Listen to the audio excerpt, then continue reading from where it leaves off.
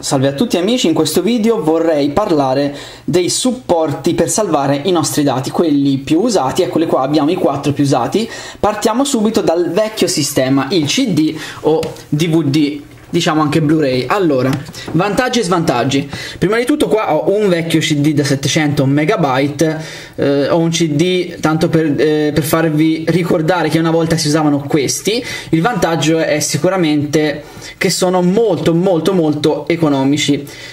Ovviamente consiglio un DVD rispetto a un CD, a meno che voi non dobbiate masterizzare poche cose entro 700 MB, oppure ovviamente un CD musicale ma eh, diciamo subito lo svantaggio è quello che ci potete scrivere una volta sola oppure comprando un riscrivibile ci potrete scrivere quante volte volete però servirà un masterizzatore. Talvolta avete bisogno soprattutto nell'era moderna di passare dei dati tra cellulari tra portatili in netbook e sappiamo che ormai netbook e piccoli portatili non hanno i lettori cd quindi e poi non è neanche comodo portarsi una cosa così grossa dietro. Quindi Ormai direi che l'era del CD DVD è tramontata, escluderei a priori questo supporto, mandiamolo via. SD, micro SD e mini SD. Sono tre supporti molto interessanti. Allora, diciamo subito che le SD possono essere di classe diversa. Questa è la migliore, la classe 10, quella consigliata, poiché nelle reflex, nelle videocamere, laddove bisogna registrare dei dati velocemente e continuamente, serve una velocità maggiore possibile. La classe 10 vi garantisce la miglior velocità, quindi costano un po' di più, ma ne vale la pena. Allora, partiamo dagli svantaggi questa volta. Gli svantaggi sono un po' i costi, poiché non sono proprio economiche, soprattutto le ultime veloci. Sicuramente più economico magari comprare una chiavetta USB, però soprattutto se comprate la micro SD che consiglio assolutamente molto di più di un SD, potrete interfacciarla da tutte le parti. Perché? La maggior parte dei cellulari moderni adesso ha uno slot micro SD, quindi potrete interfacciare tutti i vari dispositivi con la micro SD. Ci sono le SD che hanno l'adattatore per le micro SD, quindi potete inserire la micro SD dentro un adattatore e metterlo che so eh, nello slot di un portatile oppure in un adattatore a micro SD o SD che si inserisce nel computer. Quello che ho adesso io nella scrivania. È un blocco così con delle fessure ci inserite dentro la SD e poi lo collegate USB al computer. Quindi un supporto sicuramente del futuro da tenere in considerazione. I vantaggi sono anche vedete l'assenza di parti meccaniche. Quindi è eh, sicuramente molto più affidabile.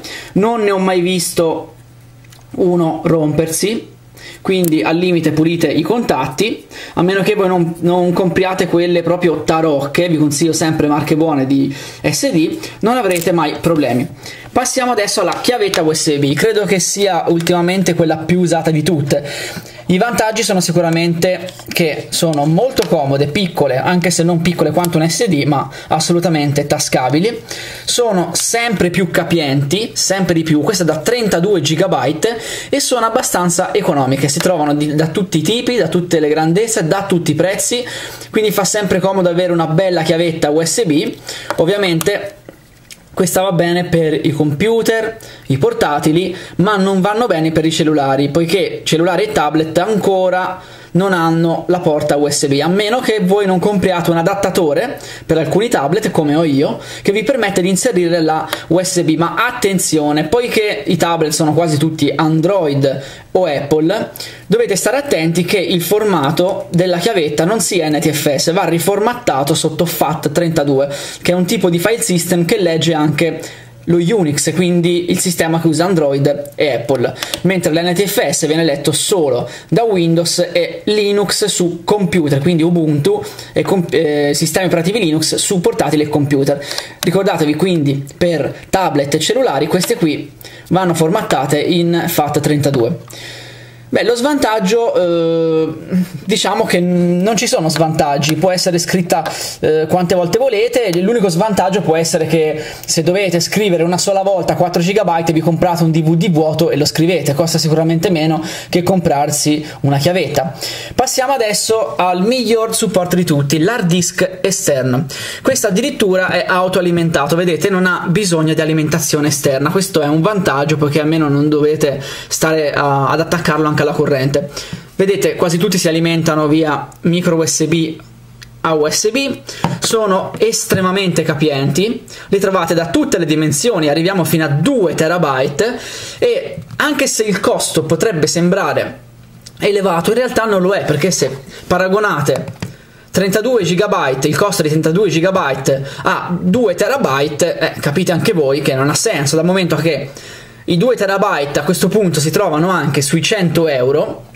Voi fa, eh, fate caso che 32 GB per una chiavetta sono 30 euro sicuramente non arrivate con questi costi a fare il 2 tera. Quindi se volete mettere sempre più dati assolutamente prendetevi l'hard disk più capiente che c'è poiché qui vale la regola del più spendo meno spendo ovvero più capiente è meno spendete ovvero costa di più comprare due hard disk da, eh, da un tera che comprarne uno solo da due. Quindi mettetevi subito l'animo in pace comprate quello più grande di tutti se sapete che andrete a metterci sempre più roba e siete a posto quindi questi hard disk sono consigliati per tenere tutti i dati personali, tutti, tutta la musica, i film, tutto quello che volete tenerci e sono abbastanza portatili, vedete, sono della grandezza di una mano, quindi si mettono in tasca, si portano in una borsetta.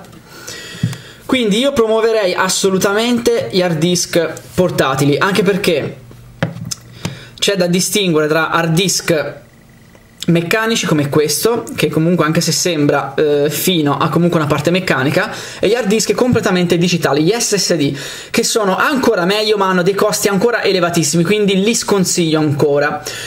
Oltretutto non arrivano a 500 GB che costano di più che di un terabyte di un hard disk meccanico, quindi per ora direi di continuare a comprare questi meccanici, si trovano da tutti i prezzi, da tutte le marche, comunque prendetevi una buona marca, non prendete quello peggiore di tutti e non avete problemi per lo storage dei vostri dati.